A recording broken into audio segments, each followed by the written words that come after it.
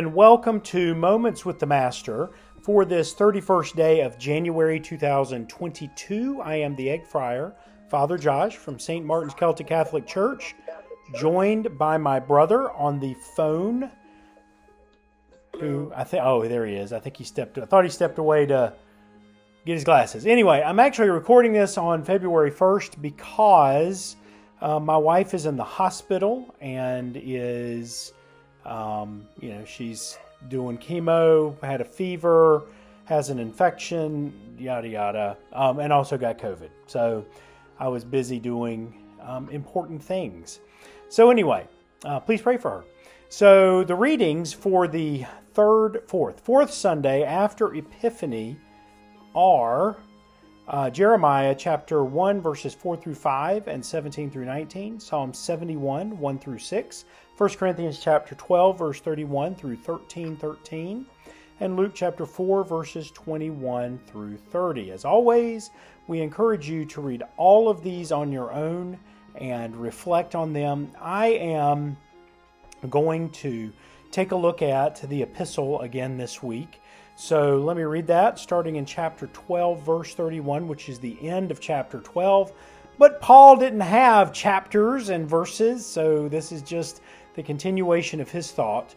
Um, so, just uh, to remember, last week he just finished talking about the body of Christ and how we have these different gifts and we all contribute to the body, and one part is not more important than the other. And then he says, earnestly desire the higher gifts, and I will show you a still more excellent way. If I speak in the tongues of men and of angels, but have not love. You know what? Before I continue, let me back up, and then I'm going to read this again. What I want you to be thinking about as you hear me read this, because this passage that I'm about to read is very commonly read at weddings. I do this frequently at weddings, and it is a beautiful passage. What's that? Do you, do you remember Rusty's version of it? I do. It's a Pachelbel's canon. My uncle, in fact, he sang it at my wedding. Um, has a version of this. There's a million versions. One of my favorites of all time is the Petra version. Love knows when to let go. Love knows when to say no. I encourage you to find it. Um, Petra, that amazing Christian hair band from the 70s and 80s and into the 90s. but anyway, heard their first album? what's that? Their first album? Uh, probably. I don't remember.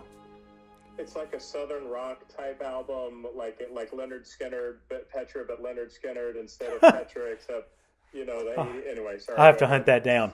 So, um, but anyway, commonly read at weddings, but it's not about marriage. And I want you to eliminate that right now. Certainly things about it relate to marriage and Paul but Paul addresses marriage directly in Ephesians. This is not about marriage. He is talking about how we are to interact within the church. And just to remember, so the Corinthian church, it's fairly new. I mean, uh, maybe a few years old. And it is mostly not Jewish. It is lots. So there are there were churches, for instance, the church in Jerusalem, that were was heavily Jewish. And so they come in with an understanding of the Torah and an understanding of who God is. Um, they had been attending synagogues for a while, and so they understood, had like some understanding of how these interactions took place. In the Corinthian church, the majority of these people are coming from a completely pagan culture. They are um, pagans and idol worshippers, uh, worshippers of the Greek and Roman gods that are coming into the Christian faith, but have no foundational understanding of who God is, who Jesus is, who the Holy Spirit is. Um, they don't know anything about the history of Israel. They have probably, many of them have never read the Torah or the Tanakh, and so they don't know anything. And now they are trying to interact as the body of Christ. Um, they don't even understand that particular um, concept. They don't know anything. And so Paul is writing all of this in Corinthians to try to explain to them, look, let me let me give you some some stuff that you need to know. Okay, so what I'm about to read does not refer to marriage, but refers to the interaction inside the body of Christ. And let me back up one more time. And I don't remember if I said this last week that the body of Christ, like we used, I think I did, but I'm going to say it again, does not refer to, like often we will, uh, people will use the phrase, in fact, I have over the years, I'm probably going to quit because it's confusing um, that will say, I go to or I am a part of this local body of believers.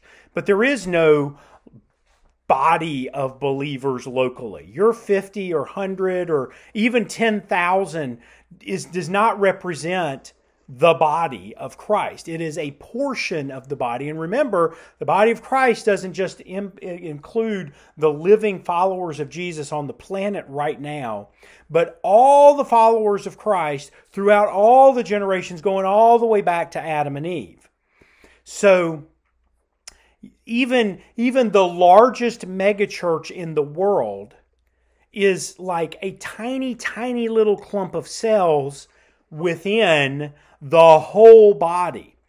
So when Paul talks about, you know, in the body of Christ, we have these different gifts, he's not talking about your local church. He's talking about the entire body of Christ throughout all the ages. And here, he's not talking about your local church. He's talking about the body of Christ. So, let me show you a more excellent way. If I speak in the tongues of men and of angels, but have not love, I am a noisy gong or a clanging cymbal. So he's making a clear reference here to the pagan practices, because that's the kind of stuff they would do in a pagan church. They would just make noise in order to try to get the attention of the gods. If I have prophetic powers and understand all mysteries and all knowledge, and if I have all faith so as to remove mountains, but have not love, I am nothing. And nothing means nothing. If I give away all I have, if I deliver my body to be burned, if I am like sacrificing myself as a martyr, but do not have love, I gain nothing. Love is patient and kind. Love is not jealous or boastful. It is not arrogant or rude. Love does not insist on its own way. It is not excuse me, irritable or resentful. It does not rejoice at wrong, but rejoices in the right. Love bears all things, believes all things, hopes all things, endures all things. Love never ends. As for prophecies, they will pass away. And as for tongues, they will cease. As for knowledge, it will pass away. For our knowledge is imperfect and our prophecy is imperfect. But when the perfect comes, the imperfect will pass away the perfect meaning. When we get to heaven, we're not going to need prophecy because we'll know things. We don't need special knowledge because we'll know everything we need to know. We won't speak in tongues because we won't need that anymore. When I was a child, I spoke like a child. I thought like a child. I reasoned like a child. When I became a man, I gave up childish ways. For now we see in a mirror dimly but then face to face. Now I know in part, then I shall understand fully, even as I have been fully understood. So faith, hope, and love abide, these three, but the greatest of these is love. Now, it's kind of interesting because we won't even eh, in in heaven neither faith nor hope will be necessary. Either. No, I won't need, and our faith will be replaced by knowledge. Right, because I don't need faith in something that I can see right in front of me. But love, love, love lasts forever. forever. And so here's the thing. Um, I could preach an entire sermon on just this one passage. It, it, it is there is a lot of depth into what Paul is saying here as you if you break down the different words and the words he uses in Greek, yada yada yada. It's all great stuff. And I encourage you to go study that. But that's not what I want you to think about right now. Here's what I want you to think about because he's not talking about marriage, he's talking about the body of Christ, the church. Are we as the people of God Because remember, and I say this, this is like, I feel like I preach and I say the same things over and over, but it's because it needs to be said. And it shouldn't have to be said, but it needs to be said. When Jesus, in his last, some of his last words before he died, he says to his disciples, Your blank will prove to the world that you are my disciples. Did he say your great church buildings? No. Did he say your amazing theology? No. Did he say um, your incredible programs that you have in your church, your children's ministry, and your. No. What did he say? Your love, not even for the people outside the faith, your love for your brothers and sisters, your love for each other will prove to the world that you are my disciples. The one proof that we have to show the world is our love for one another. What is that love supposed to look like? Patient, kind, not jealous, not boastful, not arrogant or rude. It doesn't insist on its own way. It isn't irritable or resentful. It does not rejoice in wrong, but rejoices in the right. It bears all things, believes all things, hopes all things, and endures all things. Is this how the people in the world look at the church and see us globally? And the answer to that is Oh no. No, not in total. There are probably pockets of followers of Christ that are viewed this way, but generally, no. What were you going to say? I was thinking about the, the love one for another. First of all, I'm, I'm going to disagree with a small part of what you said, which is Nope, you can't do that. I'm always right. I'm older and I'm priestlier. Oh. Uh, this is about marriage. But the issue is that we understand marriage incorrectly. We think that, first of all, the great lie is that marriage is about me and my fulfillment. The second great lie is that marriage is about me and my spouse and our marriage together. And it's not. It's it's about creating a family and it's about the marriage in the context of the rest of the church. Also, so much marriage terminology is used that I, I, I think that um, it, it's both about marriage and about the church because it's because there's so much of that going on. Well, okay, so let me, I'll come back to you. So I will say this because marriage is um, the way that God expresses the relationship between himself and Israel and himself and the church. We are the bride of Christ. We are, and, and Israel over and over is talked about as a uh, the bride of Yahweh. So there is that, huh? from Hosea. Yes. Like unto the- Well, in multiple, multiple places. But go ahead. What was your other thing? Uh, a couple of things because I, you're coming to a big ending, and I, I want to throw this in there. Um, secondly, I was thinking about our family, and, and do you remember how many people, um, friends that we would bring over, sometimes boyfriends and girlfriends, just they, more than they wanted to be connected with the boy or girl, they wanted to be part of our family. Oh, yeah. Um, There were a lot of people. There were girls that I dated that I quit dating, but still maintained a relationship with my mother. Um, it wasn't because they wanted to, like, daddy had created this holy thing, or it wasn't because of the way that we lived or the ministry that we ran. It was um, more than anything else that mommy and daddy did.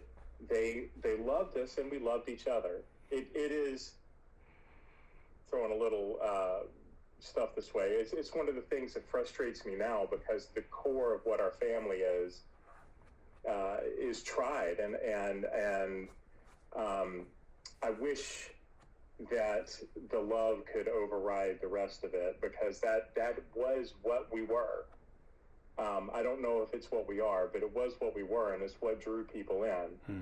Uh, the last thing, which is probably less important, I hadn't thought about this in the context of what you were saying before, but um, bringing in people from outside of the Jewish faith and like God had spent a long time teaching the Jews about not not monotheism, although yes, uh, but not just that, but about love and devotion and covenants and promises and and and a love that is not dependent on anything that I do or don't do. Like I can I can ruin myself Yeah. But I'm not going to piss him off enough to ruin me, except where he's trying to chastise me and bring me back. Um, so the, Excuse the, me. the contractual nature of pagan religion. Excuse me. you, um, of every pagan religion where you give something to the god and the god maybe if they're in a good mood gives you something in return Yes, Or the sacrifice, sacrificing children. Not just sacrifice, sacrifice in order to gain.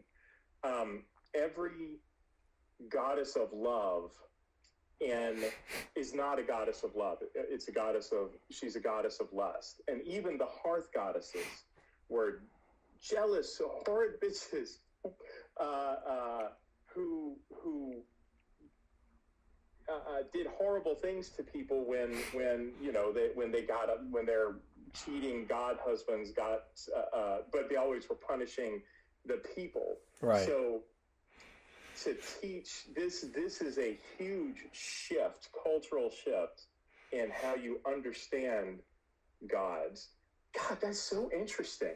The idea that i'm so sorry to be taking this over but the idea that maybe the tongues that they were speaking in the previous chapter were their versions of clanging cymbals to get the attention of god Huh, that is Um, interesting.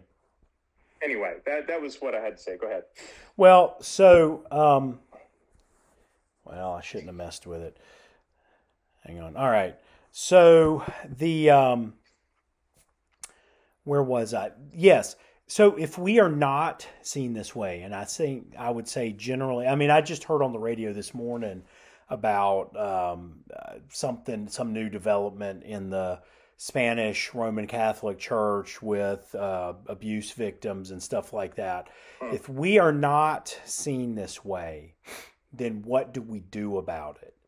Um, because it's one thing to just point and another thing to actually, I mean, we've, how do you change it? Um, and and I the way we change it is individually. Um, and it, although we are speaking globally and generationally, um, the way you change it is personally and locally.